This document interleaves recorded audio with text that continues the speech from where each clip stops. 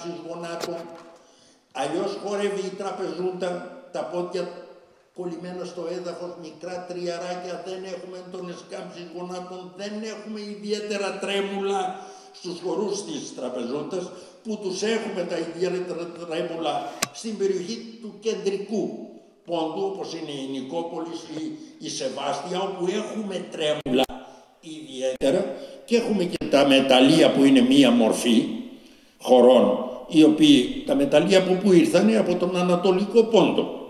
Πόσο μείναν εκεί το, το, το κιουμπούσμα δεν είναι το, το μεταλλείο αργυροχώματος, οι πρόγονοι μας που ζούσαν εκεί ζήσανε μόνο 122 χρόνια, δηλαδή τέσσερις γενιές. Πήγαν το 1800 και φύγαν το 1922. Το Άγνταγμα είναι μεταλλίων αργυροχώμα, ε, μεταλλίων άσπρου βουνού, που είναι ο νοτιοδυτικός πόντος, ζήσανε μόνο 90 χρόνια, τρεις γενιές. Έτσι πήγαν το 1932 και φύγαν το, 1000, ε, το 1832 και φύγαν το 1922. Τι μας έρχεται από εκεί, μία γκάμα χωρών η οποία δεν έχει καμία απολύτως σχέση με τους χορούς που πήγαν οι προγονείς τους εκεί. Δηλαδή σε τρεις γενιές ή τέσσερις γενιές αλλάξανε ριζικά οι χωροί. Αυτό λοιπόν το φαινόμενο γίνεται σε όλες, για να μην αναφέρουμε την Πάφρα, που είναι μία κατηγορία μόνη της, έτσι.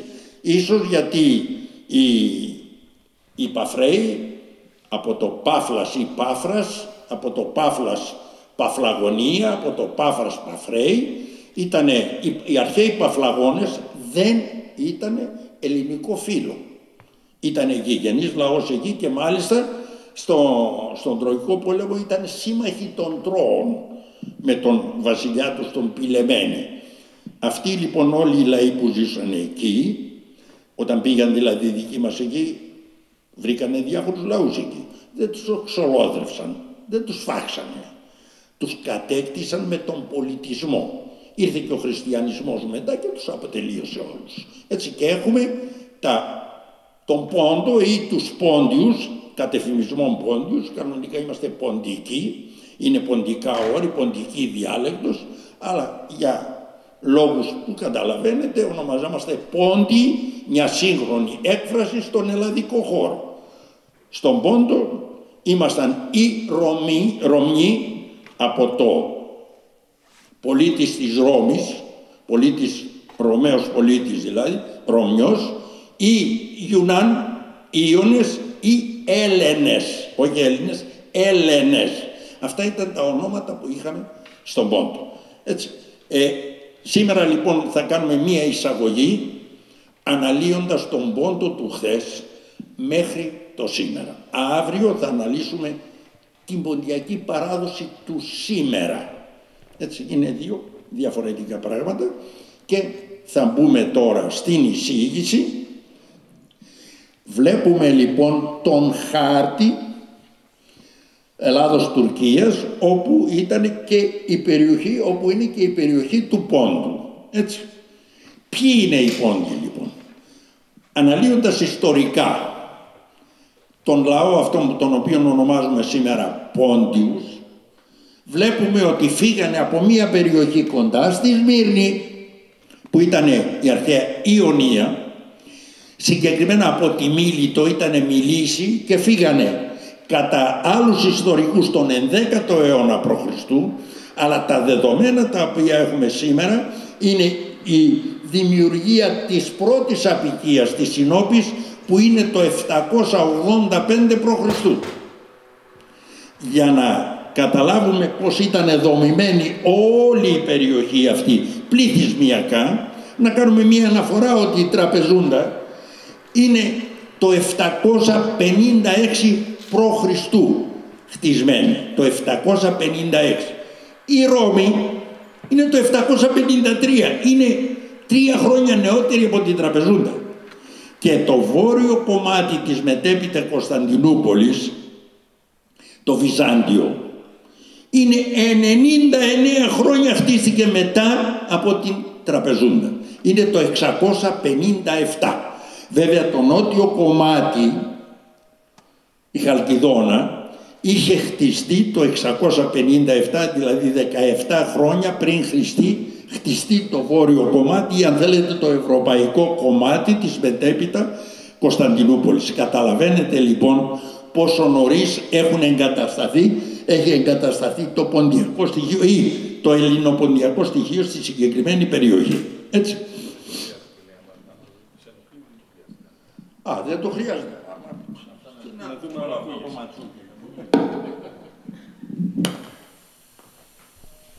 Λοιπόν, και να μπούμε τώρα... Ε, όχι το βγάλε.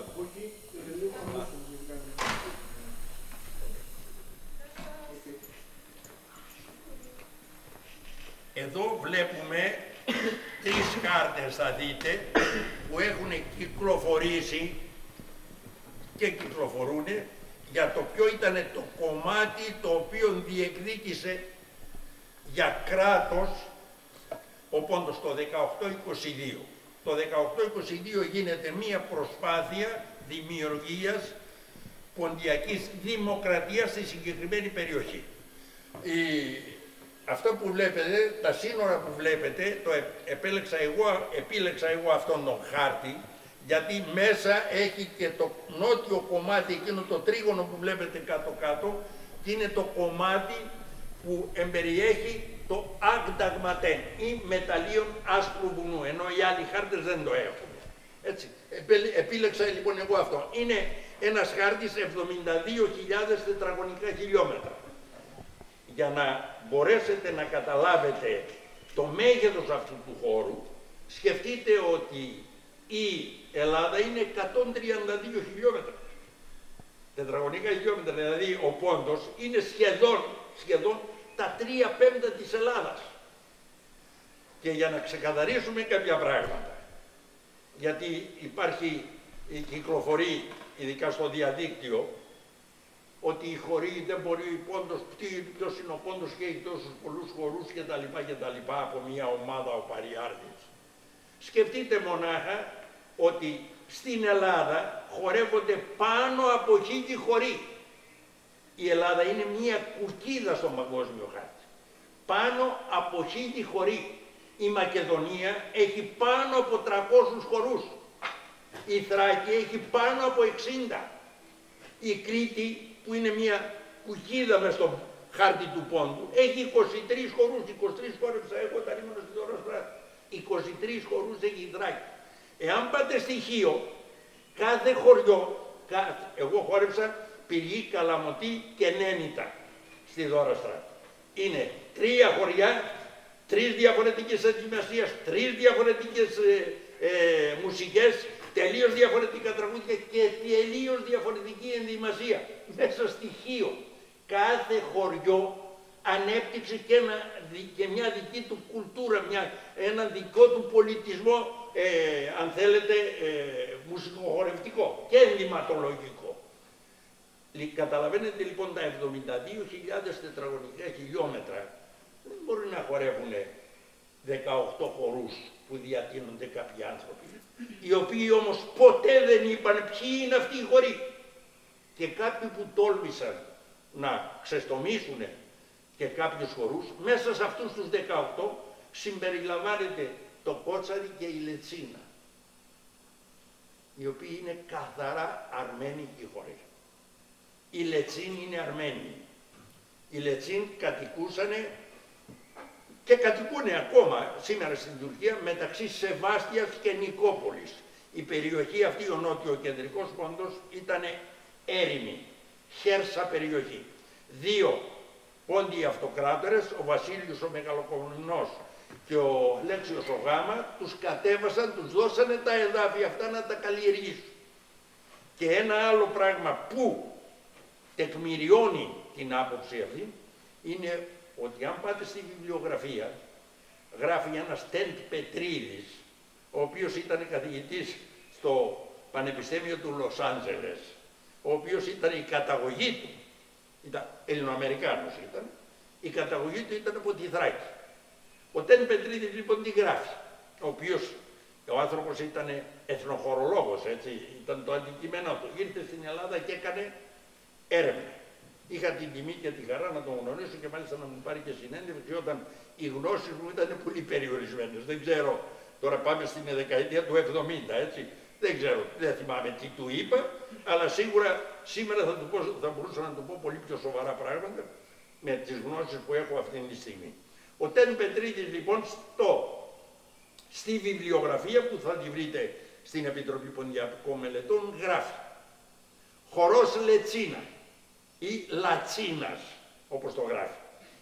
Είναι τρία τέταρτα, παίζεται μάλλον, τρία τέταρτα ο ρυθμός του στον Κάφκασο και 7 όγδα μακριά από εκεί. Δηλαδή τα τρία τέταρτα είναι τα έξι όγδα τα λεγόμενα, αυτό που θα μπορούσαμε να πούμε πολύ απλά βάλς.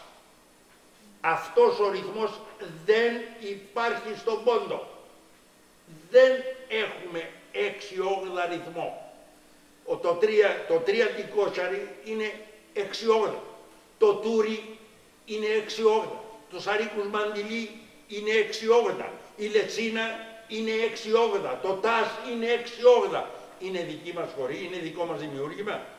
Εάν με ρωτήσετε εμένα θα σας πω ότι είναι δική μας χωρή. Γιατί είναι δική μας χωρή, γιατί ένας λαός τους επέλεξε και τους χορεύει. Ποιος είναι αυτός που μπορεί να το αμφισβητήσει αυτό; Γιατί έκανα όλο αυτόν τον πρόλογο. Μην μπείτε στη λογική ο κάθε τυχάρπαστος να ανοίγει το στόμα του γιατί δυστυχώς όλα καταγράφονται σήμερα. Δεν είναι το παλιό που το φίλτρο ήταν ο ίδιος ο λαός, έλεγες κάτι ή έγραφες κάτι ή τραγουδούσες κάτι ή έπαιζες κάτι, φιλτραριζόταν από τις γενιές. Γινόταν κλασικό και περνούσε στις επόμενες γενιές. Ό,τι δεν το άγγιζε τον λαό, το καταργούσε στη διάρκεια. Στη διάρκεια το καταργούσε. Δεν το ξανάκουγες. Σήμερα όλα καταγράφονται.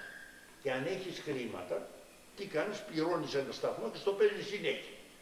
Και αυτό καταγράφεται και μένει. Τώρα, πώς αγγίζουν το λαό, αυτό είναι άλλο κομμάτι. Αλλά θέλω να πω ότι ε, η σημερινή εποχή δεν είναι παραδοσιακή. Δεν δημιουργεί παράδοση το σήμερα. Γιατί, γιατί είναι ο αιώνας της ταχύτητας. Γιατί βομβαρδίζεται από χίλια δύο πράγματα. Και ειδικά μέσα στο ίντερνετ. Ο μόνος που κατόρθωσε το ακατόρθωτο και έκανε παράδοση στο σήμερα είναι ο Μιχάλης ο Καλλιοτζήτης. Με το Ρασόπουλο. Το Ρασόπουλο έγινε το πιο κλασικό τικ από την ημέρα που γεννήθηκε ο Πόντος. Υπάρχει περίπτωση να γίνει μία διασκέδαση και να μην ακούσετε το Ρασόπουλο. Δεν υπάρχει. Οι πάντες το έχουν εντάξει στο ρεπερτόριό τους, όλη η μουσική, και αν δεν το παίξει ο μουσικός ή δεν το τραγουδίσει ο τραγουδιστής, θα το ζητήσει ο κόσμος, είναι δεδομένο. Κατά συνέπεια έχουμε και ένα φαινόμενο δημιουργίας παράδοσης με, με μια μελωδία. Είναι η μόνη που δημιουργήθηκε στο σύμπαν. Όλα τα άλλα είναι παράδοση του χθες. Βέβαια υπάρχουν και κάποια, ας πούμε η μάνα είναι τριών νερών, αλλά εκεί κρύβεται, δεν νομίζω ότι είναι η, η ιδιαίτερα ποιητική χάρη του στίχου, αλλά είναι η μάνα. Όλοι αγαπούν η μάνα τους και ειδικά άμα τη χάρη στο πρώτο πράγμα που θα τραγουδήσεις είναι η μάνα είναι τριών νερών. Οπότε και αυτό κατόρθωσε σήμερα να επιβληθεί και να γίνει σχεδόν παράδοση. Κάτι άλλο που έχει τίνει να γίνει παράδοση εγώ δεν το χορεύω στο χορευτικό μου, είναι το ατσαπάτ. Ο χορός ατσαπάτ. Σήμερα όλα τα χορευτικά τείνουν να χορεύσουν ένα συγκεκριμένο που ξεκίνησε η πρώτη του φιγούρα από, την, ε, από τον Άι Ευκαιριακή το είδαμε πρώτη φορά, το 1980, από το χορευτικό της Τολεμαΐδας. Ήταν η πρώτη χορογραφία που είδαμε. Σήμερα έχει εμπλουτιστεί και με άλλη φιγούρα και είναι η συνέχεια της Πτολεμαΐδας. Δηλαδή το ατσαπάτ που χορεύω. Εγώ στη χορευτική μου διάρκεια χόρεψα τέσσερα ατσαπάτ. Τέσσερα διαφορετικά ατσαπάτ. Εάν μπούμε στο διαδίκτυο είναι σίγουρα 15 μπορεί να μπει και 20. Το ατσαπάτ, το αξαμπάτ είναι μία, ήταν μία κομμόπολης 10 χιλιόμετρα δυτικά της Τραπεζόντας. Σήμερα είναι ενωμένη. Είχε 1.000-1.500 κατοίκους. παλαιότερα, σήμερα είπαμε ενωμένο δεν ενδιαφέρει. Πόσα εξαπατήχε αυτό το χωριό;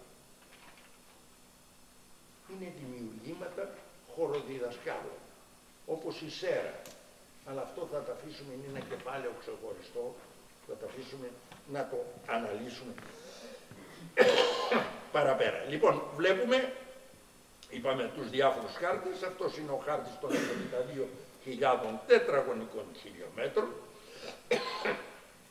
Όταν πήγαν οι δικοί μας εκεί, βρήκανε λαούς να κατοικούν στην περιοχή, όπως ήταν οι Μάκρονες, οι Χάλεβοι, οι Μοσίνικοι, οι Καρδούχοι, αυτούς που σήμερα οι Τούρκοι ονομάζουν ε, ορεσίδιους Τούρκους, οι Καρδούχοι είναι οι, οι πρόγονοι των Κούρδων, τους οποίους οι Τούρκοι θέλουν να εξαφανίσουν πάση ε, θυσία, τους αναφέρει ο Ξενοφόντας, τραβήξανε πολλά οι δικοί μας, οι αρχαίοι Έλληνες, όταν κάνανε τη διαδρομή γυρνώντας σαν μισθοφόροι από την Περσία, τραβήξανε πολλά από τους καρδούχους. Οι καρδούχοι είναι οι Κούρδοι. Οι Παφλαγόνες, που είπαμε για τους Παφλαγόνες, αυτοί οι λαοί λοιπόν κατακτηθήκανε με τον πολιτισμό και μετά ήρθε ο χριστιανισμός και τους αποτελείωσε και είναι ο λαός που σήμερα ονομάζουμε Ποντίους. Ε, μία φωτογραφία που αξίζει να μιλήσουμε αρκετή ώρα για αυτήν είναι η πλατεία της Τραπεζούντας, είναι μία εκδήλωση του Καδρί Πασά. Ο Καδρί Πασάς ήταν νομάρχης της Τραπεζούντας και ένα από τα θεάματα που προσέφερε στον εκάστοτε υψηλό καλεσμένο ήταν και ο χορός Σέρα. Δηλαδή πριμοδοτούσε νέους σχολές να μαθαίνουν τον χορό Σέρα και να τον χορεύουν σε διάφορες παραστάσεις. Όταν αυτός είχε κάποιους κάποιον υψηλό καλεσμένο. Τι βλέπουμε λοιπόν εδώ; Βλέπουμε έναν κύκλο με γύρω, αν προσπαθήσετε να μετρήσετε, είναι γύρω στα 70 άτομα. Στη μέση βλέπουμε ταούλη και ζουρνά. Γύρω γύρω βλέπουμε χιλιάδες κόσμο. Δεν είναι στην εκκλησία, είναι σε μία πλατεία. Όλος αυτός ο, ο κόσμος, μαζί με όλον αυτόν τον κόσμο, όπως ε, καταλαβαίνετε, υπάρχει και η ανάλογη οχλαγωγία. Έτσι, δεν είναι άκρα του τάφου σιωπή. Λοιπόν, η σέρα έχει παραγγέλματα. Κάποιος πρέπει να φωνάξει για να μπορέσουν να ακούσουν οι άλλοι και να κάνουν το τσάκωμα και το χάλαμα. Πιστεύετε ότι υπάρχει άνθρωπος που έχει τόσο στεντόρια φωνή ώστε μπορεί να καλύψει όλο αυτόν τον κόσμο, του ζουρνάδες, του ταούλια και να τον ακούσουν 70 άτομα για να κάνουν παρα... ε, φιγούρα; Ανθρωπίνους αδύνατον, έτσι, όπως και να γίνει. Από πού λοιπόν δινόταν τα παραγγέλματα; Από τα όργανα κυρίαρχο ρόλο παίζανε τα όργανα. Ίσως το μόνο που μας έμεινε ακόμα παραδοσιακό είναι ακριβώς αυτό στην ποντιακή διασκέδαση.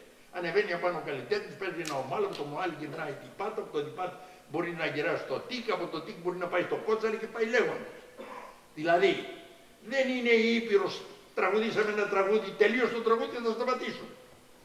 Έτσι, η Θράκη, τελείω το τραγούδι σταματήσαμε. Εμάς τι πατάει, που πατάει, πάνω στη μαντινάδα, πάνω στο δίστικο. Ξέρεις δίστικα, ξέρεις μελωδίες, οι μέρες ολόκληρες μπορείς να τραγουδάς. Και οι μέρες ολόκληρες μπορείς να χορεύεις. Ή να χορεύαμε παλιά. Σήμερα ε, το να χορέψεις ποντιακά, αν είσαι μέση και μεγάλη ηλικία, είναι για πέντε λεπτά και μετά είσαι για νοσοκομείο. Έτσι. Χθες όμως χορεύαν οι μέρες ολόκληρες, γιατί, γιατί άλλος ο χορός του χθες, άλλος ο χορός του σήμερα, αλλά αυτό είναι ένα μάθημα αύριο. Λοιπόν, βλέπουμε λοιπόν ότι θεατρική αδεία επικρατήσαν κάποια πράγματα. Πήραμε τον χορό από την πλατεία και τον ανεβάσαμε πάνω στο σανίδι. Τον κάναμε παράσταση πλέον. Η παράσταση όμως, η θεατρική παράσταση, στη θεατρική παράσταση λειτουργούν κάποιοι κανόνες. Και οι κανόνες αυτοί είναι, με κάπως πρέπει να μπεις, κάπως πρέπει να βγεις, κάπως πρέπει να περάσεις από τον ένα χώρο στον άλλον, κάπως πρέπει να κάνεις τις αλλαγές σου. Και αρχίσαμε. Όπα, πυρ και τα λοιπά και τα λοιπά. Αυτά όλα εμείς θα προσπαθήσουμε όλα αυτά τα ξενικά στοιχεία που εισχωρήσανε μέσα στον χορό θα προσπαθήσουμε σήμερα να τα αποβάλουμε και κυρίαρχο ρόλο θα παίζουν τα μουσικά όργανα. Όπως γίνεται πραγματικά στην πλατεία του χωριού. Θα παίζει όργανο, παίζει και όταν αλλάξει μελωδία όργανο, παίζει θα αλλάξει χορό. Είναι απλά τα πράγματα. Γιατί πρέπει να, να φωνάξουμε όπα. Και γιατί πρέπει, ειδικά παιδιά είναι και κάποια κοριτσάκια καμιά φορά χορεύουν μπροστά και κάποιος πι! Γιατί να χειροκροτήσει πιάνουν τα γέλια.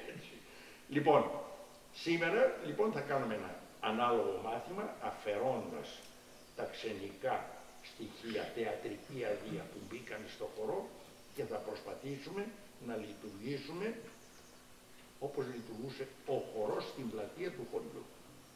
Λοιπόν, δεν ξέρω αν θέλετε να ρωτήσετε κάτι. Από αυτά βλέπετε πάλι είναι η ίδια φωτογραφία. Λοιπόν, πάμε τώρα τον τρόπο με τον οποίο Χορεύω. Σήμερα για να χορέψετε θέλετε έναν καλό μουσικό οπωσδήποτε. Έναν καλό όργανο παίχτη, έναν κατάλληλα διαμορφωμένο χώρο, έτσι. Θέλουμε οπωσδήποτε μια καλή μικροφωνική να μας ανοχλεί, να μην σφυρίζει και θέλουμε οπωσδήποτε και ένα αρμόνιο. Το αρμόνιο έγινε αναπόσπαστο κομμάτι της ποντιακής διασκέδασης. Κανένας φτασμένος καλλιτέχνης δεν παίζει χωρίς αρμόνιο. Είναι στο μόνο χορευτικό, το δικό μου, που δεν τόλμησε κανένας φτασμένος καλλιτέχνης, επειδή είχα το κορτσό μου και περάσαν όλοι από εκεί μέσα και έχουμε καλές σχέσεις, και με ξέρουν κανένας δεν τόλμησε να πει θέλω αρμόνιο. Κανείς. Είτε αυτός λέγεται Θεοδοσιάδης, είτε λέγεται Παρχαρίδης, είτε λέγεται Ιωαννίδης ή όπως λέγεται. Όλοι βολεύονται με έναν ταούλι αλλά και ακόμα τον Ταούλη αν θέλετε, στον πόντο ποτέ δεν συνόδευε τη λύρα. Διότι έναν Ταούλη και 100 λίρες να παίζανε, βλέπετε δεν υπήρχε μικροφωνική, και 100 λίρες να παίζανε, τις σκέπαγε. Σήμερα συνηθίσαμε να ε, έχουμε τον Ταούλη σε όλα τα αυτά, αλλά όταν φτάσουμε στη λίρα θα το αναλύσουμε και αυτό. Τι χορεύανε λοιπόν και τι χρειαζόταν αυτοί που χορεύανε τότε στον πόντο; Τι χρειάζονται για να χορέψουν;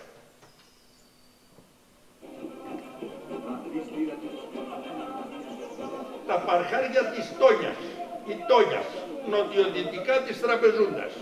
Ένας κύκλος που προσπάθησε να τον μετρήσω γύρω στα 500 άτομα. Είναι τα, τα γλέντια που γινότανε στον Πόντο την δεύτερη, ε, τη δεύτερη Παρασκευή κάθε, ε, κάθε Ιούλιο. Τώρα γίνονται δεύτερη και τρίτη, δύο τριήμερα γίνονται. Είναι λοιπόν ένα, όταν ρώτησα εγώ, έχω πάει επανειλημμένος εκεί, 7 φορές συγκεκριμένα, και έχω πάει και στα χωριά. Έχω καθίσει και σε σπίτι να φάω. Και όταν βγάλαν τα ψωμιά από το φούρνο, τα σταύρωσε και όλα. Μια γιαγιά. Και όταν τη ρώτησα γιατί το κάνεις αυτό, λέει, δεν ξέρω, το κάνανε οι παλιοί. Αυτά είναι τα πανηγύρια του προφήτη Ηλία, που τα κάνανε οι παλιοί τους. Αυτοί αλλαξοπίστησαν ομαδικά, γι' αυτό και αν θα πάτε στην Τσάι παραπάνω, στον βορειοανατολικό πόντο, στην περιοχή του Όφη ή θα πάτε στην περιοχή της Τόνιας, μπορείτε, αν ξέρετε ποντιακά, μπορείτε να να συνεννοηθείτε άνετα, δεν έχετε κανένα πρόβλημα. Έτσι, συνεχίσανε αυτό που κάνανε οι παλιοί τους, αλλά για αυτούς σήμερα είναι απλώς ένα δρόμενο που κάνανε οι παλιοί τους. Δεν έχει θρησκευτική έννοια. Για αυτούς δεν είναι το πανηγύρι του προφήτη Ηλίας.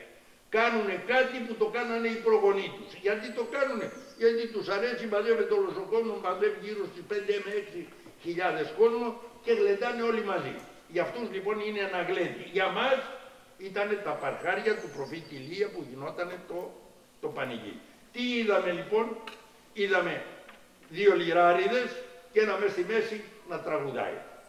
Ούτε μικροφωνικές, ούτε άκουγες μουσική, ούτε είχες κατάλληλα διαμορφωμένο χώρο και από πάνω δεν είχες αρμόνια. Εάν ήθελες να τραγουδήσεις λοιπόν, έπρεπε να έχεις τα κότσια, να τρέχεις δίπλα στους λιράριδες και να τραγουδάς. Γι' αυτό και η λύρα δεν είχε εξέλιξη στον πόντο. Ποιο, πώς πεζόταν η λύρα, με, τα με την εσωτερική ψύχα των δακτύλων, κατά αυτό για να μπορεί να κρατάει σταθερά τη, ε, θα σας δείξω κι άλλο βίντεο μετά πώς στερεωνόταν η λύρα, και ε, το δοξάρι ήταν παλιδρομικό. Κύβριν, κύβριν, το λεγόμενο χουζά. Δεν καθόταν σε μια καρέκλα αυτό που έκανε ο Γόγος έτσι που άλλαξε την δομή της κοντιακής μουσικής. Ο Γόκος έπαιζε μπουζούκι, λένε ότι έπαιζε και το τσιτσάκι. Πώς κρατιέται το μπουζούκι κατά αυτόν τον τρόπο; Η εξωτερική ψύχα των δακτύλων.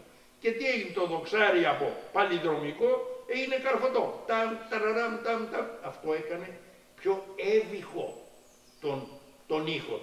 Τον δέχτηκες πολύ καλύτερα, πιο έντεχνο. Αλλά ξέφυγε από την παράδοση άλλο παράδοση. Εάν ρωτήσετε εμένα, το εγώ τον θεωρώ το μεγαλύτερο δεξιοτέχνη που έβγαλε ο Πόντος, αλλά όχι το πιο παραδοσιακό.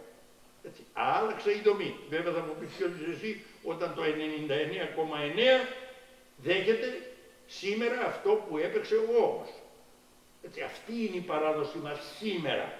Αλλά καλό είναι όταν κάνουμε κριτική ή όταν αναπολούμε το χθες, να το αναπολούμε και να κάνουμε κριτική με βάση τη γνώση. Άλλο ήταν το χθες, αυτό είναι το κομμάτι της μουσικής του χορού, είπαμε αύριο, άλλο είναι το κομμάτι του χθες και άλλο είναι το κομμάτι της παράδοσης του σήμερα, που σε πολλά σημεία δεν συναντιέται. Βρίσκουμε λοιπόν μια καινούρια μορφή η οποία δημιουργήθηκε σε βάθος χρόνου στον ελλαδικό χώρο και έχει μικρή σχέση με τον ε, πόντο. Επειδή όμως είδατε ότι τρέχουν γύρω-γύρω για να παίξουν ε, και αυτό ήταν πάρα πολύ κουραστικό, για να μην χαλάει η διασκέδαση, πολλά εύρωστα παλικάρια παίρναν το λιράρι στον νόμο και έπαιζε από τον πρώτο όροφο, το ισόγειο έτρεχε, από κάτω, γύρω-γύρω, για να μπορούν να συνεχίζεται η διασκέδαση έτσι. Λοιπόν, εδώ είδαμε σε ανοιχτό χώρο με τη λύρα. Να δούμε τώρα τι χρησιμοποιούσαν στους, στους ανοιχτούς χώρους. Εδώ δεν μας ενδιαφέρει, απλώς μιλάνε.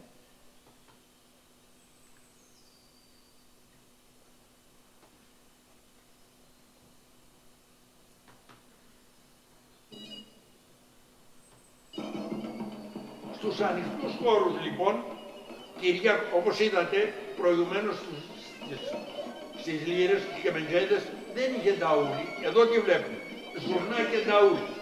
Ο ζουρνάς και το ταούλι ήταν για τους ανοιχτούς χώρους. Λόγω της οξύτητας του οργάνου, της μεγάλης έντασης του οργάνου που το βλέπετε. Εδώ είναι τα μαχαίρια της τόνιας, έτσι.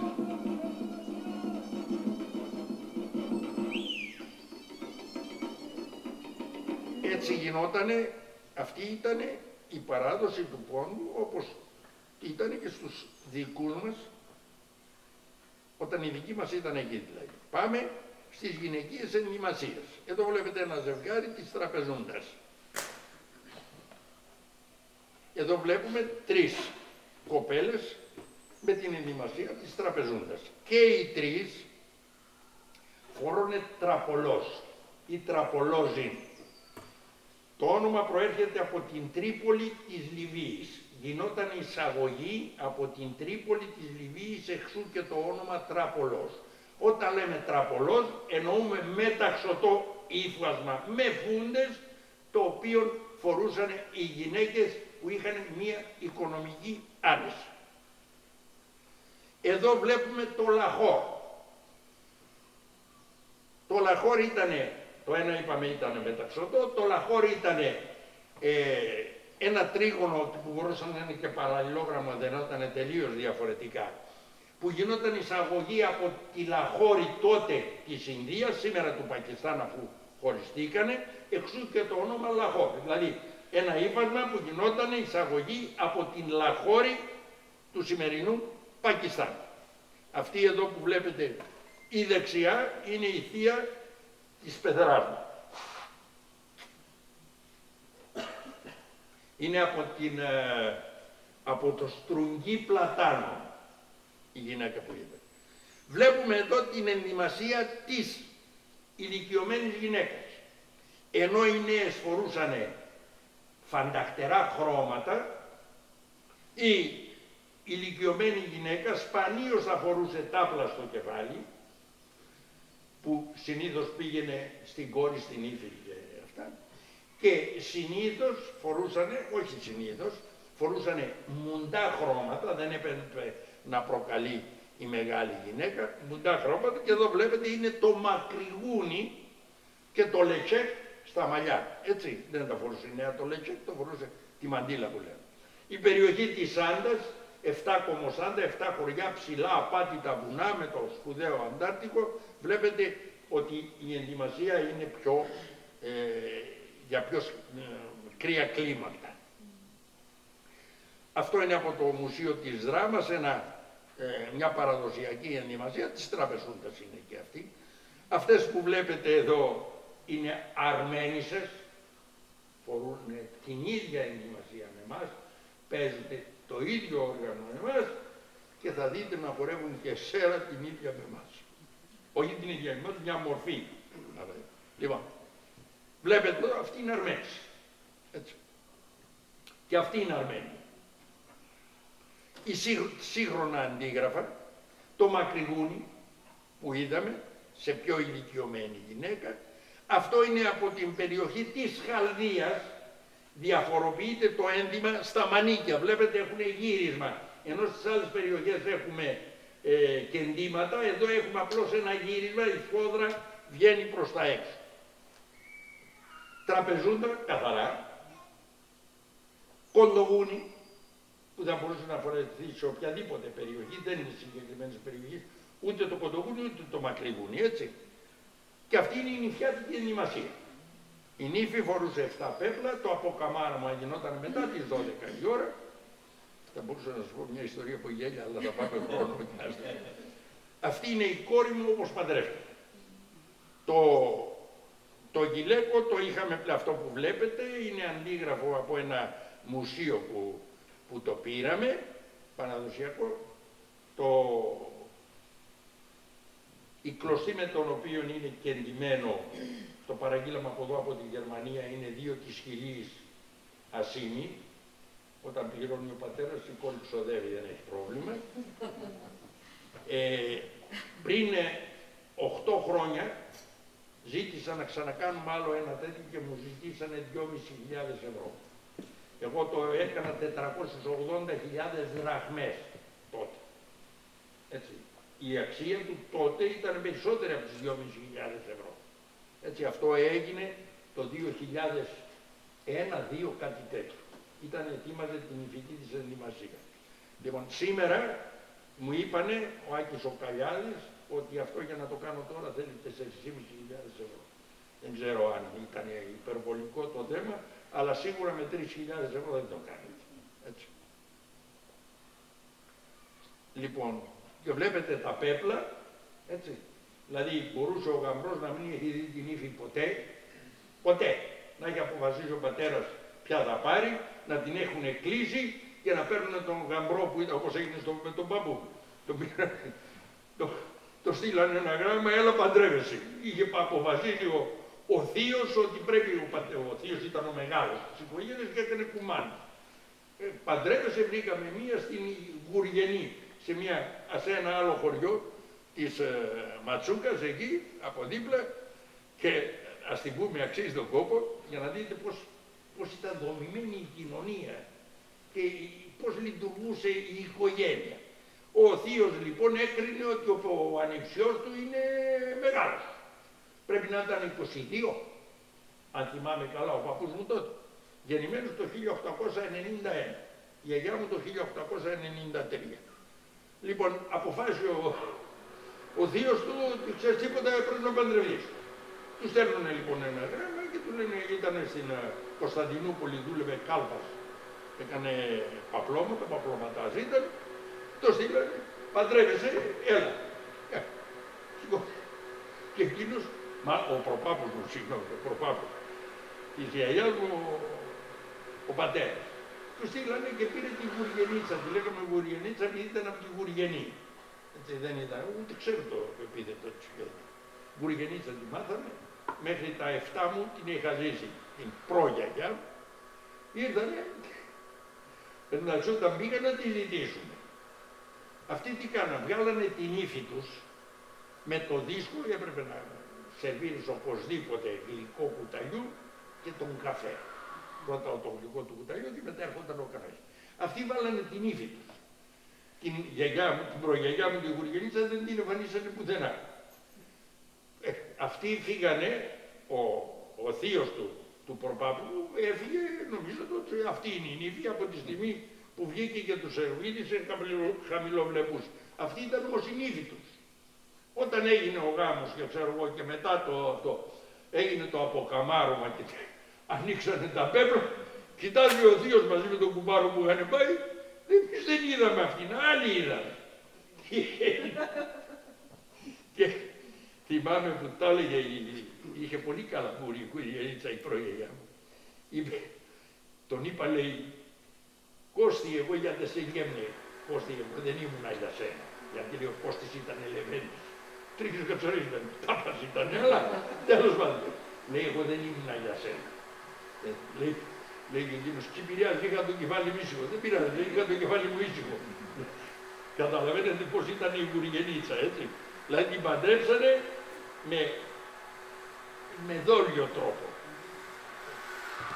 Λοιπόν, είδατε το κουτνί. Έτσι. Το είδατε, σας το έδειξα με το τηλέφωνο μου, επειδή δεν την έχω τη φωτογραφία εδώ πρέπει να την περάσω, γιατί αναφέρομαι στο κουτνί. Το κουτνί ήταν ένα από τα πιο ακριβά ύφασμα, επειδή σας ενδιαφέρει η ενδυμασία, από τα πιο ακριβά υφάσματα του πόντου. Το στιμόνι, δηλαδή η βάση, ήταν βαβάκι. Κουτνί στα αράβικα, είναι αραβική λέξη, σημαίνει βαμβάκι. Το, η βάση ήταν βαμβάκι. Το, το, αυτό όμως το, πώς το λένε, το στιμόνι, το, δηλαδή η κλωστή με την οποία κεντρούσαν ήταν, υφαίνανε μάλλον αυτά τα υφάσματα, ήταν καθαρό μετάξι. Το, η ενδυμασία στον πόντο ήταν και δείγμα ευημερίας ή αν θέλετε κοινωνικής θέσης. Τα κοσμήματα που φορούσαν στο κεφάλι και τα λοιπά, όλα αυτά δείχνιαν κάποια οικογένεια η οποία είχε μια οικονομική επιφάνεια α και είχε και την ανάλογη θέση μέσα στην κοινωνία. Λοιπόν, το, το κουτνί μας λέει ο Τριανταφυλλίδης στο ε, πόνημά του, στο βιβλίο του «Φυγάδες», ότι εμφανίζεται για πρώτη φορά στην τραπεζούντα δειλά-δειλά το 1870. Το 1870 βάσει του Τριανταφυλλίδη που ζούσε εκείνη την εποχή και έγραψε το βιβλίο, τότε εμφανίζεται και το κουτνί, έτσι, το οποίο γινόταν από πού εισαγωγή, από τη Συρία, από τη Δαμασκό τη Συρία. Δηλαδή τα υφάσματα, ειδικά τα μετάξια, γινόταν από την Ινδία, γινόταν από την η Λιβύη, γινόταν από την ε, Συρία, ήταν εισαγόμενα. Έτσι. Λέμε τώρα αυτό είναι ποντιακό ή αυτό δεν είναι. Πάμε στα, στα κοσμήματα. Κοιτάξτε τα. Έτσι. Αυτό είναι καθαρό αίμο χριστιανικό. Προσέξτε, χριστιανικό. Δεν χρησιμοποιώ τον όρο ποντιακό.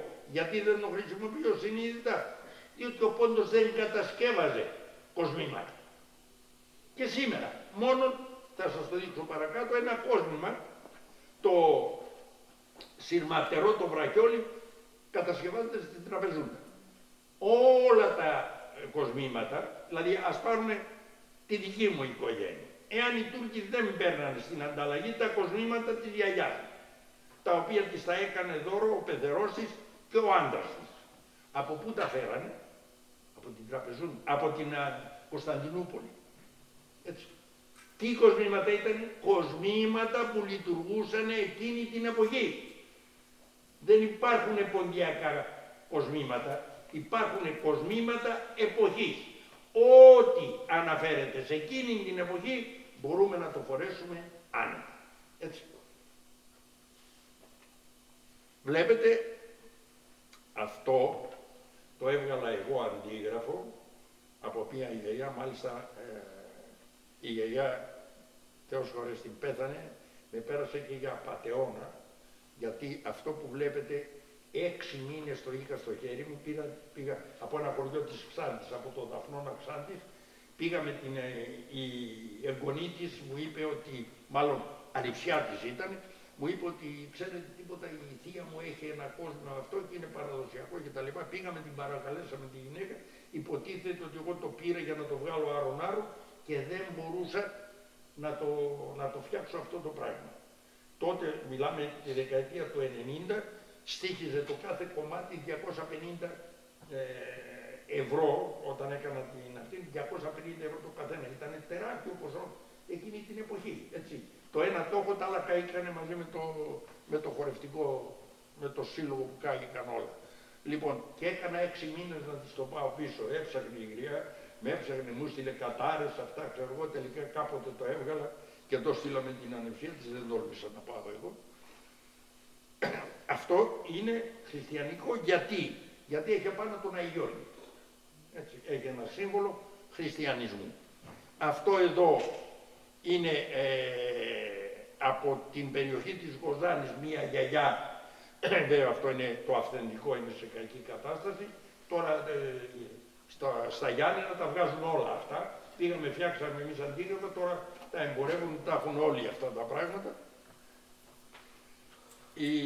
είναι ε, Αδαμίδου, δεν θυμάμαι το όνομά της, από, το, από την ε, Κοζάνη. Εδώ βλέπετε τα φλουριά, αυτά είναι κλασικά, παραδοσιακά και αυτά εδώ είναι ε, το 1 τέταρτο κάθε στρογγυλό που βλέπετε είναι το 1 τέταρτο της λύρας. Είναι κοσμήματα που τα κάνανε δώρο ε, ε, στα, στους γάμους μάλλον, τους κάνανε τα φλουριά και τα αυτά και τα κάνανε κοσμήματα αυτά. Αυτά τα βλέπετε, είναι ψεύτικα δεν είναι. Υποτίθεται ότι είναι μαργαριτάρια, έτσι. Υποτίθεται. Αυτά είναι οι τάπλες στο κεφάλι. Αυτό ξεκίνησε σαν μικρό φέση γυναικείο και σιγά σιγά κατέβηκε και έγινε και, και έγινε κόσμημα κεφαλής. Δεν ξεκίνησε σαν κόσμημα, ξεκίνησε σαν φέση. Έτσι. Έχουμε διάφορα τέτοια, βλέπετε διάφορα, με διάφορα κόστη. Αυτό εδώ που βλέπετε σήμερα έχει 150 ευρώ. Αυτά εδώ που βλέπετε τα αυτά είναι των 250 ευρώ. Έτσι, βέβαια έχει και πολύ φτηνότερο όπως είναι αυτό. Σήμερα αυτό είναι γύρω στα 100 ευρώ. Αυτό εδώ είναι γύρω στα 40-50 αλλά είναι ε, αυτό πολύ βαρύ για το κεφάλι, είναι μια πάβιλα. Και αυτό είναι το κέντρο. Ε, εδώ πρέπει να σας διευκρινίσω ένα πράγμα. Λέμε τάπλες. Τάπλα ουσιαστικά δεν φοράει κανένα χορευτικό. Είναι τάπλα, ε, κουρσίν και τεπελίκι.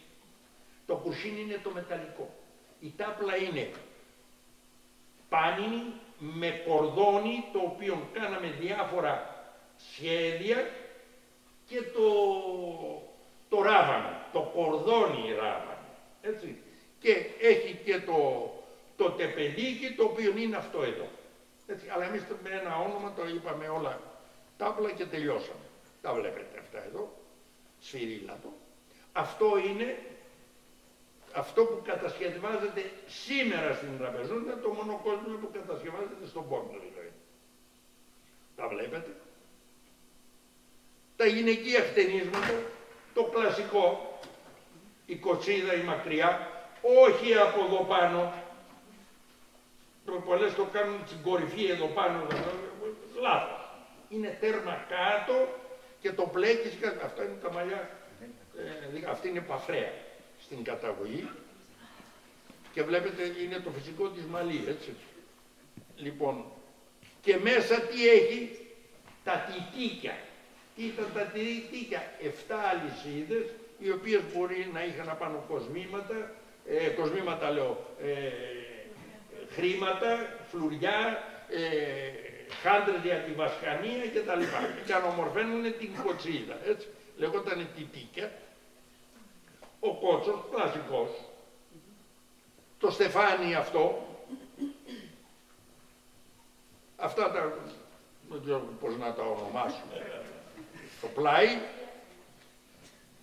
και οι δύο κοτσίδες που κρέμουν. Αυτά ήταν, δεν, όπως βλέπετε, δεν είχε φράντσες εδώ, δεν είχε αλογοουρές, δεν είχε τέτοια πράγματα. Αυτά ήταν τα κλασικά πλέον. Οι ανδρικές ενδυμασίες, βλέπουμε αντάρτες στο βουνό, εδώ ίσως θα πω κάποια πράγματα που θα σας ξενήσουν, αλλά καλό είναι να τα ψάξετε πριν τα κατακρίνετε αυτά που θα πω, αν τα κατακρίνετε. Βλέπουμε εδώ τον αντάρτη αυτόν εδώ, τι φοράει, ριγέ που κάμισο. Φοράει κανένα ε, χορευτικό. Δεν έχω ε, και τις φωτογραφίες μαζί μου να σας δείξω καρό και ριγέ που κάμισα από τους αντάρτες του πόντου. Έτσι, που πρέπει να το σκεφτείτε. Όταν τα κάνετε, να πάρετε και καρό, και να μην πάρετε μουσική με τα κάτι καρό της υπερβολής, δηλαδή μικρά τετραγωνάκια, ε, ενδείκνυται για ανδρική ενδυμασία. Όπως και το ριγέ. Αυτός είναι ε, ο καπετάνιος, ο Βαγγέλης, πώς τον λέγανε και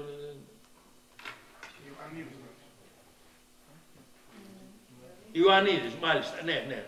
Ναι, είναι από το Κιουμούσματεν, είναι από το μεταλλείο αργυροχώματος. Βλέπουμε εδώ, τραπεζούντι λέει. Εδώ τι βλέπουμε.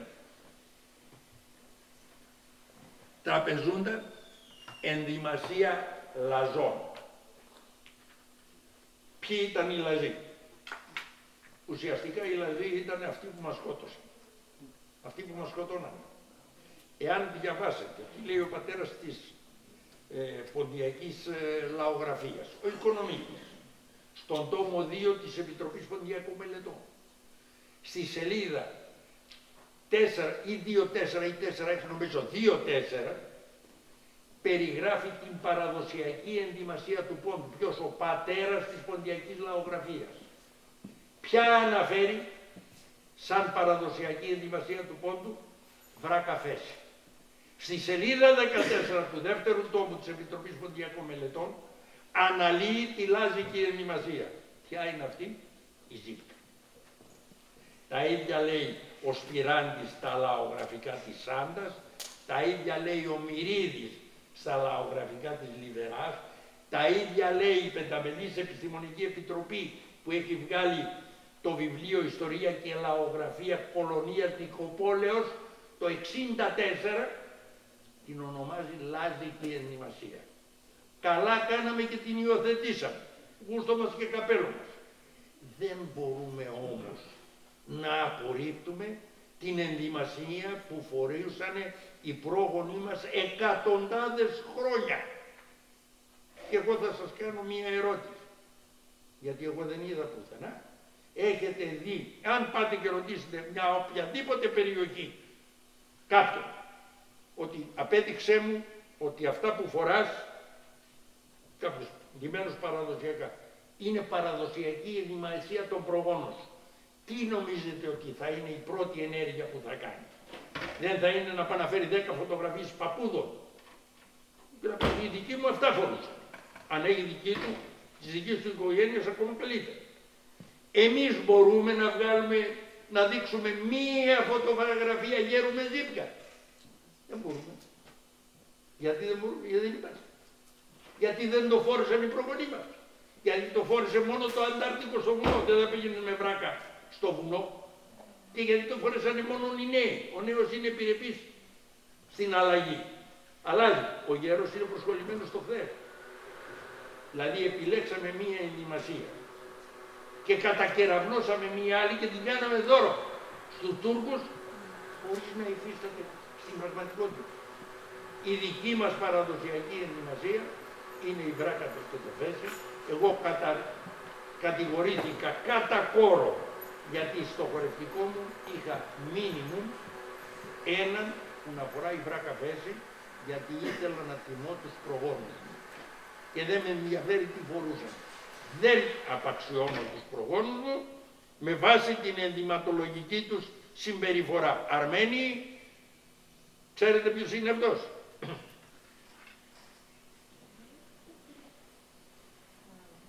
Από την Κρόμη, Χαράλαμπος Μαφιάτης.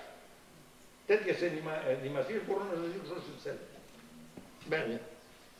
Ξέρετε ποιος είναι αυτός; Αυτός είναι ο Φωστηρόπουλος, τραπεζίτης της τραπεζούντας, αυτός που έφερε την αντιπροσωπεία της Μερσεντές στην Ελλάδα. Η αντιπροσωπεία της Μερσεντές πήγε στην Ελλάδα μέσω της τραπεζούντας, μέσω του τραπεζίτη Φωστηρόπουλου.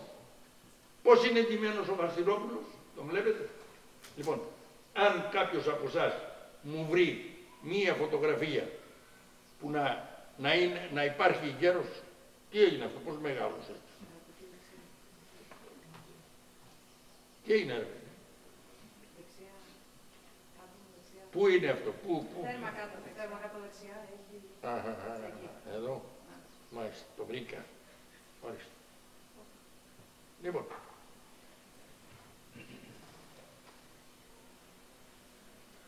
ο Ιωάννης Μαφιάτης με τον Κουμπάρο. Αυτές ήταν οι ενημασίες, ρε παιδιά, τι να το κάνουμε. Ξέρετε πως πέρασε στο τουρκικό, πρώτα ξεκίνησε από το τουρκικό ναυτικό. Τι ήμασταν. Δεν υπήρχε ελληνικό κράτος. Ήμασταν Οθωμανοί πολίτες και υπηρετούσαμε στον τουρκικό στρατό, οι προγονείς μας. Τα τουρκικά καράβια, ποιοι τα κουβαντάραν, οι Έλληνες νησιώτες. Τι φορούσανε, βρακαφές. Από τον τουρκικό ναυτικό που το φορούσαν οι χριστιανοί, πέρασε και στο τουρκικό ναυτικό. Οι βρακαφές. Έτσι, δεν είναι ανάγκη δηλαδή Ούτε και εμένα μ' αρέσει. Δεν μ' αρέσει. Χίλιες φορές προτιμώ την Τζίμκα. Αλλά δεν θα κλείσουμε για το μάτι για την αλήθεια, έτσι. λοιπόν, αυτή είναι η χωρική ενδυμασία με Τζίμκα. Γαμήλιος λέει χωρική ενδυμασία. Τη βλέπετε, με, με φέση. Γιορτερή ενδυμασία. Πάλι με φέση. Εδώ θα τα δούμε λίγο. Αυτό που βλέπετε αριστερά είναι ο Λεπέντης ο Κώστης της γιαγιάς μου της Χουργενής, ο άντρας. Αυτός είχε την τύχη που την παντρεύτηκε. Αυτή είναι η προγονή Ο Μεσαίος είναι ο αδελφός του, ο Νικόλας, ο οποίος ήταν ο τελευταίος πρόεδρος του χωριού Κοσμά από όπου κατάγουν. Και δίπλα είναι από το διπλανό χωριό από το Μαντζάνι. Δηλαδή, στο χωριό μου αυτή ήταν η ενημασία.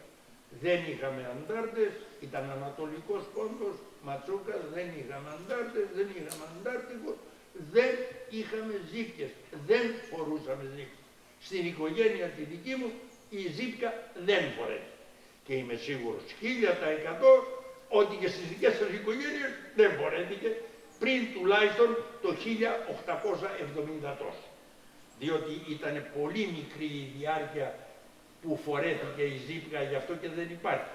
Από τα τέλη του 19ου αιώνα μέχρι τις αρχές του 20ου. Το 1910 έχουν καταργηθεί τα πάντα και είναι πλέον στην ε, επιφάνεια τα φραγκολεβαντίνικα ή τα λεβαντίνικα ή τα ευρωπαϊκά αν θέλετε. Δηλαδή από το 1910 και μετά όλος ο πόντος δίνεται με ευρωπαϊκή ενδυμασία, γι' αυτό και όλο το φωτογραφικό υλικό που έρχεται από τους πρόσφυγες θα δείτε σπάνια θα βρείτε μέσα καμία ζύπκα ή καμία μπράκα με φέτα. Όλοι είναι σχεδόν με ευρωπαϊκή ενδυμασία. Αυτό δεν που πρέπει να τονίσουμε είναι ότι η πανράδοση του πόντου άρχισε να πεθαίνει πρώτα από τα αστικά κέντρα του πόντου. Η μόνη που κράτησε την παράδοση ενδυματολογικά ήταν η γυναίκα του πόντου στο αστικό κέντρο. Την παράδοση του πόντου δεν την ψάχνουμε στα αστικά κέντρα, όπου από το 1700 πλέον αρχίζει, επειδή υπάρχει ευημερία και επειδή οι Τούρκοι ε, τα αξιώματα, τα κρατικά αξιώματα, τα δίνανε μόνο σε μουσουλμάνους. Το εμπόριο έμεινε στους ε, Αρμένιους, στους Έλληνες και στους Εβραίους. Και αυτή την ευημερία οι Εβραίοι συνεργάστηκαν με τον Τούρκο, δεν είχαν πρόβλημα. Αυτοί που αντιστάθηκαν ή αυτοί που τυπήσανε προσίες, αν δεν λέτε, ήταν οι Αρμένοι και οι Χριστιανοί. Έλληνες, οι δικοί μας, οπότε την πληρώσανε κιόλας και με γενοκτονία, έτσι. Και αυτή, αυτή την ευημερία δηλαδή. Και κακά τα ψέματα, ας είμαστε τουλάχιστον μεταξύ μας ειλικρινείς, εάν θέλαν πραγματικά να μας εξαφανίσουν, είχαν δύο απλές κινήσεις. Μία να κλείσουν τις εκκλησίες και δεύτερον να απαγορεύσουν τη γλώσσα.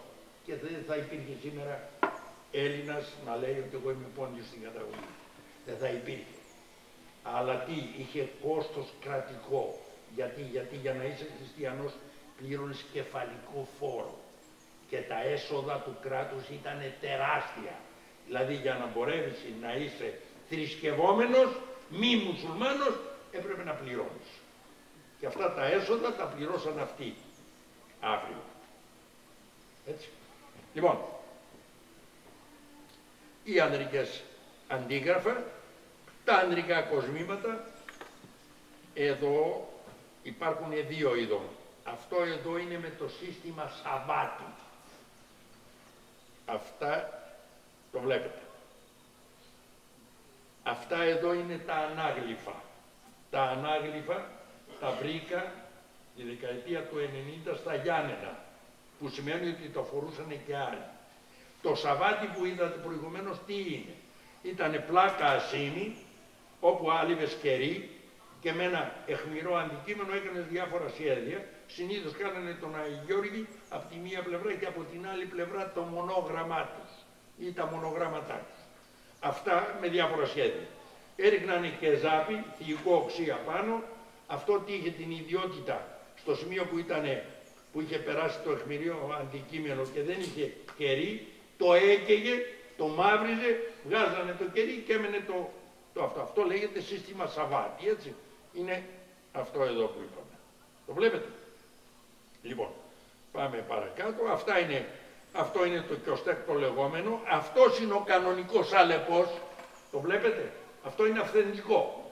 Είμαι από το καπαλό τσαρσί, το πήρα αυτό τότε, θυμάμαι την, ε, αυτό για 70 χιλιάρικα το πήρα, αυτό, αυτό, αυτό, όχι το ρολόι, το ρολόι είναι άλλο, αυτό είναι, έχω το ρολόι το κανονικό, δεν το έβαλα πάνω, γιατί είναι με κουρδιστήρια από πίσω και το πήρα 400 δολάρια τότε, δεκαετία 90, 400 δολάρια το πήρα, το έχω στο σπίτι στο...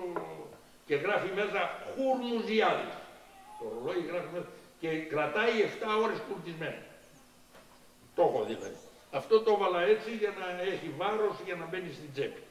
Αυτός είναι ο κανονικός αλεπό. Τώρα τον αλεπό τον κάνει ο καθένας, κάνει ό,τι του κατέβει. Προκειμένου να πουλήσει. Έτσι. Τα βλέπετε. Κεφαλοδεσίματα δέστε, παλιά, θα δείτε, κοίταξε παλιά κεφαλοδεσίματα. Δεν θα δείτε πουθενά τη φούντα. Δεν θα δείτε, πουθενά. Πουθενά η φούντα. Πουθενά. Διάφορα δεσίματα. Εγώ κάνω 7 διαφορετικά δεσίματα. Τα βλέπετε. Τα βλέπετε. Η φούντα. Πώς καταλαβαίνουμε ότι υπάρχει η φούντα αφού δεν τη βλέπουμε πουθενά; Γιατί η κουκούλα αυτή, εάν δεν είχε την φούντα να τραβάει, θα ήταν ένα κονικό πράγμα εδώ πάνω. Έτσι. Και μόνο το τραβάει κάτω σημαίνει ότι έχει κάποιο βάρος από πίσω. Πού τη βάζετε τη φούντα; Πίσω. Μέσα στο γυλαίκο; Όχι, πίσω. Κρέμεται πίσω, στην πλάτη. Στην πλάτη.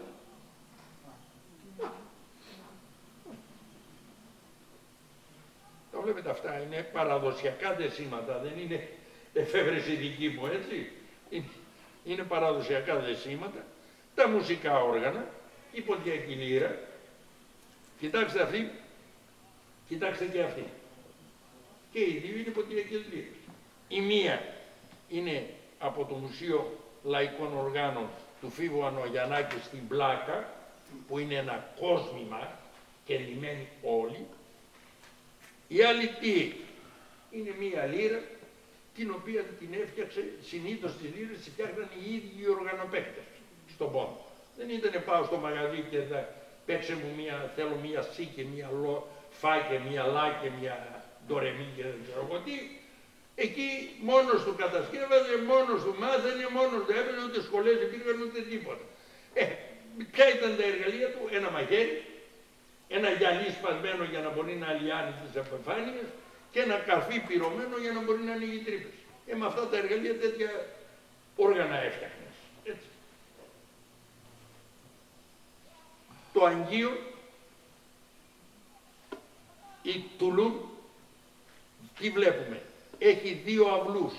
Βλέπετε δύο σειρές καλάμια. Δύο σειρές φλογέρες.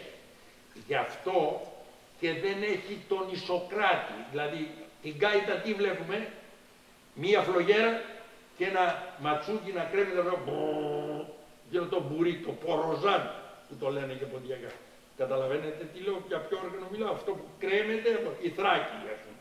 Τι παίζει; Γκάιτα. Η γκάιτα τι έχει, έναν αυλό, μία φλογέρα και ένα που κρατάει τον Ισοκράτη. Εμάς δεν χρειάζεται γιατί έχει δύο αυλούς όπως και η λύρα. Η λύρα δεν χρειάζεται όργανο συνοδείας γιατί το Ισοκράτης είναι η δεύτερη χορδή. Ενώ τι το, ας πούμε, παίρνουμε την κριτική λύρα ή την ισιωτική γενικά ή την θραγιώτικη. Τι θέλουν, όργανο συνοδείας. Γιατί; Παίζεται με τον ήχη, πατάει σε μία χορδή και το δοξάρι πατάει σε μία χορδή. Όταν δεν υπάρχει το όργανο συνοδείας, τι έχουν κουδουνάκια απάνω στο, τα έχετε δει τα κουδουνάκια, απάνω στο δοξάρι. Την ώρα που παίζει για να έχει τη ισοκράτη. Το κράτημα κρατάει. Η λύρα την ποντιακή δεν τη χρειάζεται γιατί πατάς δύο χορδές με την ε, ψύχα του δαχτύλου και το δοξάρι πατάει δύο χορδές. Έτσι. Αυτή είναι η λεγόμενη διχορδία. Έτσι το ίδιο συμβαίνει και με το αγγείο. Βέβαια, στους ανοιχτούς χώρους χρησιμοποιούμε τον ταούλ. Ε, ο Ζουρνάς, ο Ζουρνάς ήταν ο παλαιός οξύαυλος. Αυτά που βλέπετε είναι ένα της Ματσούκας ο κοντός, που ήταν γύρω στις 35-40 πόντους, ο πολύ μακρύς Ζουρνάς που ήταν του δυτικού πόντου, γύρω στους 60 πόντους και ο ενδιάμεσος 40-45 πόντους που ήταν για τον υπόλοιπο πόντο και ειδικά στην τραπεζούνα, ο οποίος όμως δεν τον έχω εδώ. Ο Ζουρνάς ήταν το μόνο όργανο που είχε χρηστικότητα από τη μία άκρη του πόντου μέχρι την άλλη. Δηλαδή όλος ο πόντος έπαιζε Ζουρνά. Και για να πάρετε ένα μικρό παράδειγμα, η, έχετε ακούσει υπηρώτικα τραγούδια; Έχετε ακούσει. Τι παίζουν κλαρίνο. Το κλαρίνο είναι ένα σύγχρονο όργανο του Μεσαίου. Είναι μια ε, μάλιστα ανακάλυψη Αυστριακού και τελειοποίηση Γερμανού. Γερμανοί τελειοποιήσανε το κλαρίνο και το φτάσανε στη μορφή της σημερινής. Οι, οι πυρότες δεν παίζανε όργανα πριν βρεθεί το, το κλαρίνο, πριν αντικαταστήσουν τα όργανα με το κλαρίνο. Παίζανε, τι παίζανε ζουρνάς. Σήμερα όμως ο ζουρνάς στην Ήπειρο εξαφανίστηκε. Δεν υπάρχει που πάνε να εξαφανιστεί από παντού δηλαδή. Μα, τι θέλω να πω, ότι πολλά πράγματα αλλάζουν στη διαδρομή και είναι θέμα ενός λαού τι αποδέχεται και τι απορρίπτει. Όταν το απο, απορρίπτει κάτι τελείωσε, πέθανε. Δεν αναβιώνει ξανά με τίποτα. Αυτό που έγινε με τους ζουρνάδες στην Ήπειρο. Τον Ταούλη το ξέρετε, δεν χρειάζεται να πούμε τίποτα. Και αυτή είναι η χιλιάβρη, η χιλιάβρη που προέρχεται το όνομα από το χιλίαυλο. Αυλός η φλογέρα. Χιλί αυλός. Αυλός των χιλιών, φλογέρα των χιλιών. Πώς λέγεται στην, στα ποντιακά, χιλιάβρη. Χίλια και αυλός. Λοιπόν, δεν είναι όργανο ε, που θα κάνεις κοινωνικές εκδηλώσεις στον πόντο, αλλά ήταν ένα όργανο που το κατασκευάζανε οι ίδιοι οι τζομπαναρέοι στις τεράστιες ώρες μοναξιά στα βουνά, ξύλα υπήρχαν ένα σοφά, ειδικά φουντούκια, καθόταν, κατασκευάζαν φλογέρες και παίζανε μόνοι τους. Τώρα, αν βρισκόταν σε κάνα καφενείο και μετά εγώ και χρειαζόταν να παίξει και κάνα θέμα. Αλλά σήμερα μπήκε και στη δισκογραφία και στα ποντιακά κέντρα και στην ποντιακή διασκέδαση δεν το αναφέρουμε σαν παραδοσιακό, παραδοσιακό όργανο του πόντου ήτανε. Δεν ήταν όμως αυτό που θα έκανε οι κοινωνικές εκδηλώσεις. Έτσι. Ήτανε με, σε μεμονωμένη χρήση ας πούμε. Ο Κεμανές αυτός είναι ε, ο Κεμανές ποιας περιοχής το έγραφε, αλλά δεν, δεν. Λοιπόν, αυτή είναι η Κεμενέδης της Καπαδογίας. Τους Κεμανέδες αυτούς, βλέπετε, ο Κεμενές αυτός είναι ποντιακός, αυτός εδώ, έχω και άλλες φωτογραφίες, δεν τα, μήπως πρέπει να τα περάσω. Έχω πολύ, πάρα πολύ καιρό να κάνω αυτή την εισήγηση, γιατί όλοι ζητάνε το χθες με το σήμερα και αυτά τα έχουν απορρίψει. Βλέπετε ότι μοιάζει με τη Μοντιακή Λύρα. Ο Κεμανές, ο καθεαυτούς, ο πατέρας αυτών των Κεμανέδων, αυτός εδώ, είναι της Καπαδοκίας και οι δύο ή με πέντε κύριες χορδές και άλλες πέντε από κάτω συμπαθητικές οι λεγόμενες ή, με έξι όπως είναι αυτός και άλλες έξι από κάτω, δώδεκα δηλαδή. Οι, βγάζουν ήχο, οι συμπαθητικές, οι από κάτω βγάζουν ήχο από τους παλμούς που βγάζουν οι κεντρικές χορδές με το, με το δοξάρι. Έτσι. Βλέπουμε λοιπόν ότι ο δυτικός πόντος από τον κεντρικό, από την περιοχή των ποτιόρων και πέρα μέχρι Πάφρα, Σαμψούντα, ε, Άγδαγματέν, Κιουμουσματέν, ε, όλοι αυτοί χρησιμοποιούν τον κεμανέ ή κεμανί. Και είναι, είπαμε, αυτό το όργανο που πήρανε από τους Καπαδόκες. Ε, αυτή, αυτός ο κεμανές είναι ο τετράχορδος κεμανές που το συναντάμε στην ε, Πάφρα, βάσει βιβλιογραφίας, από τη βιβλιογραφία του στην Πάφρα και στο ΚΑΣ, ο οποίος δεν έχει συμπατητικές από κάτω, είναι τετράχορδος. Σήμερα ένα ανάλογο όργανο, το παίζει ένας εκπληκτικός μουσικός, είναι ο Χρήστος ο Καλιοτζίδης, ο γιος του Μιχαλάκη, ο οποίος είναι Παναγία Βοήθεια, έτσι. Είναι ο άνθρωπος, παίρνει το όργανο και το κάνει ό,τι θέλει. Λοιπόν, το ούτι το χρησιμοποιούσαν κατά περιόδους ή και το, το νταϊρέ ή το ντέφι το μεγάλο στον δυτικό πόντο σαν όργανο συνοδείας του ε, Κεμανέ. Και εδώ βλέπουμε τους Αρμένιους να παίζουν την ίδια λύρα με μας. Κοιτάξτε τους, την ίδια λύρα με μας. Έτσι. Και εδώ έφτασε το τέλος. Δεν ξέρω αν θέλετε να ρωτήσετε κάτι από όλα αυτά που είπαμε. Εγώ έχω όχι μια ερώτηση, αλλά μια διαπίστωση. Είπατε πριν ότι στο πανηγύρι του προφήτη Ηλία ε, ήταν ένας που λύρα και πήγαινε γύρω-γύρω για να ακούγεται. Δύο ήταν. Δύο. Εγώ εδώ στη Γερμανία έχω πάει σε πολλά κουρδικά πανηγύρια και χορεύουν και παίζουν ακριβώς έτσι. Αύριο. Αύριο θα τα πούμε.